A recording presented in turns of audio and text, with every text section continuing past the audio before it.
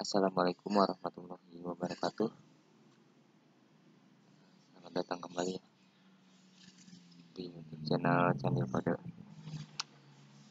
Di pembahasan kali ini saya bakalan mencoba buat bagiin tutorial cara login uh, dashboard admin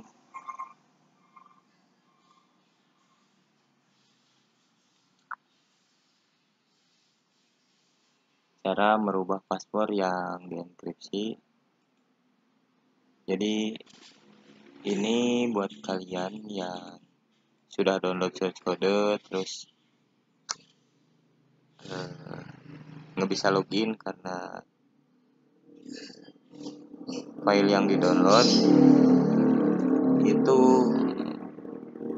nggak tahu gitu passwordnya jadi si pemberi code itu nggak ngasih tahu password login. Dan akhirnya kalian hapus terus download lagi search code yang lain.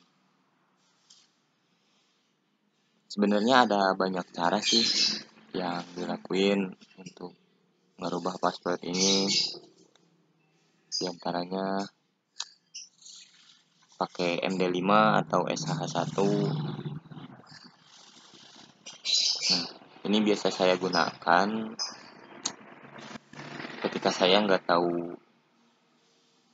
password. Oke, langsung saja. Kita jalankan dulu example ini. Ini bakalan uh, saya coba uh, buat merubah video yang terakhir saya upload ya ini.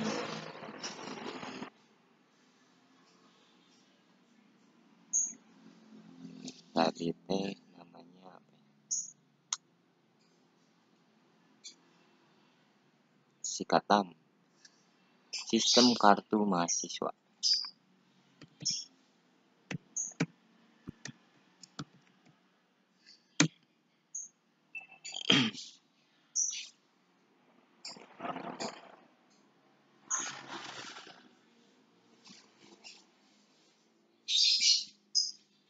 Login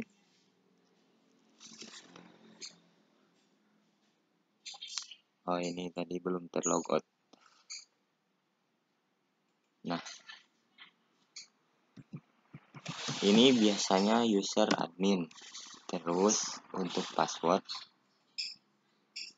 Biasanya para pembagi eh, passwordnya itu selalu pakai admin. Tapi ketika dipakai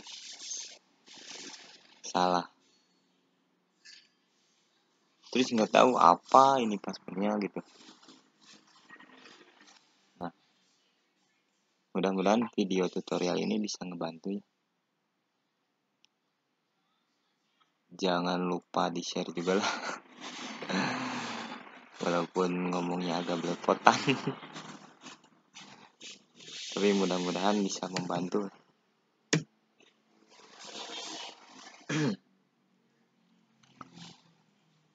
kita ke PHP MyAdmin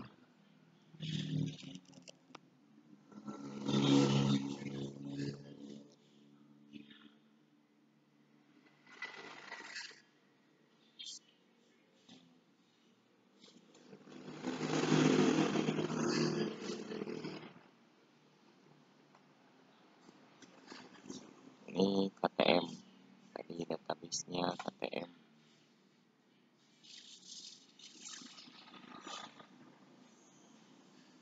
label user.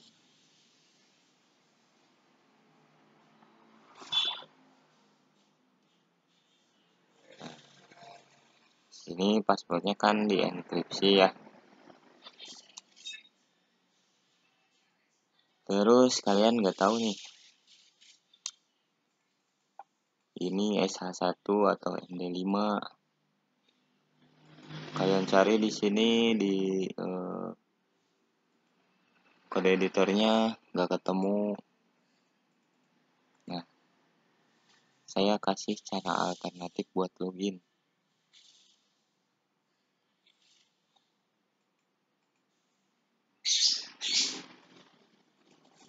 Bagaimana caranya? Oke langsung saja ini caranya. Silakan kalian uh, masuk ke blog kode candilku ya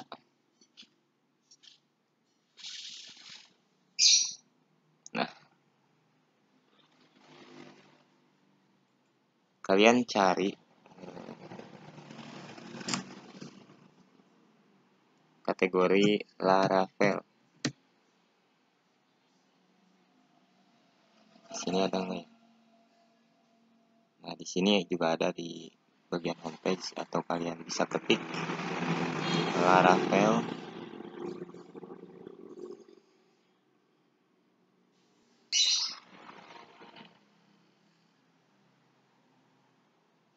nah ini stock management system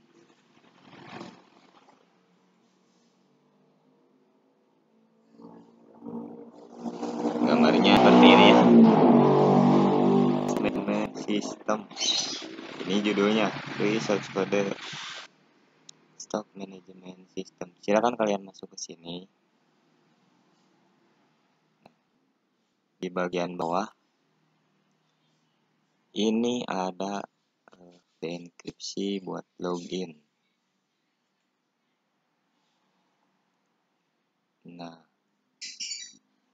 karena ini udah saya pakai tadi buat kalian yang nggak tahu password login kalian bisa gunakan ini untuk login. Silahkan di copy semua dari sini sampai ke sini. Salin tempelkan di sini. Untuk password parcelnya ini nggak usah diganti biarin aja. Kalian save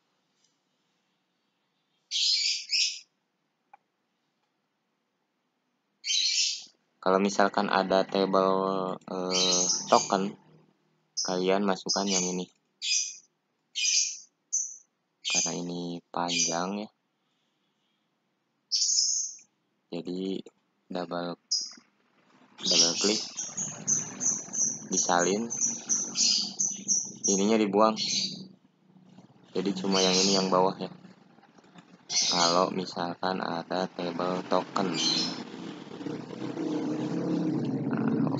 loginnya passwordnya jadi secret. Nah, secret.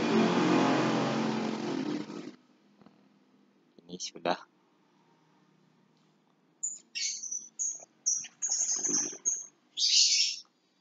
Kalau sudah. Di reload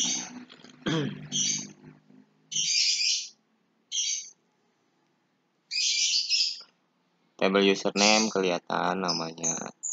Jadi nggak dienkripsi. Admin. Untuk pilihnya secret. Ya jadi tulisnya seperti ini secret.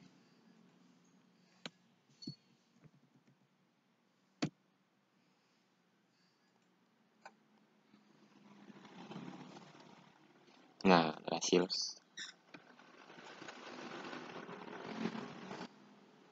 Oke, Sobat Ndil, bagaimana? Mudah ya? Semoga tutorialnya bisa membantu. Jangan lupa subscribe, di-share, biar semangat upload kontennya.